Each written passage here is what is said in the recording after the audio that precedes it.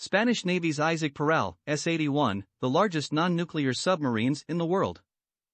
The Spanish Navy's new submarine, Isaac Peral, S-81, is being christened in Cartagena, Spain. Cost about a whopping $1.14 billion, the S-81 is one of the largest non-nuclear submarines in the world and promises to be a significant step up for the Spanish Navy. The S-80 Plus class, or Isaac Peral, is a Spanish class of four submarines, late 1990s design, initial production order in 2003, redesign and rebuild in mid-2010s, and currently in production, built by the state-owned Spanish company Navantia in its Cartagena shipyard for the Spanish Navy. The S-80 Plus class submarines have a full load displacement of 3,200 tons, a total length of 81.05 meters, a beam of 11.68 meters, and a draft of 6.20 meters.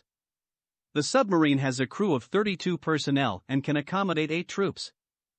The S-80 can reach a top speed of 22 km per hour on the surface and 35 km per hour when submerged. The submarine is powered by three bioethanol engines, one 3,500 kilowatts main electric engine, and a 300 kilowatts air-independent propulsion (AIP) reactor. The S-80's air-independent propulsion (AIP) system is based on a bioethanol processor consisting of a reaction chamber and several intermediate CO-PROX reactors.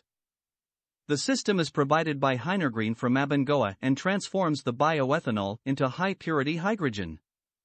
The output feeds a series of fuel cells from UTC Power Company.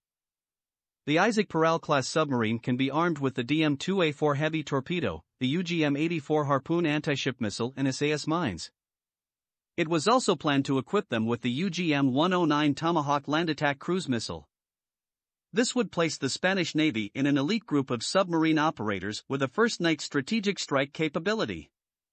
While the Tomahawk order has passed into history, the submarine retains the capability to carry them if they are acquired in the future.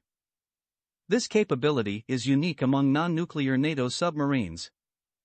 Cost more than double the cost of a German Type 212 submarine, the S-80 could end up serving as very stealthy, far-ranging guardians of Atlantic and Mediterranean waters around Spain.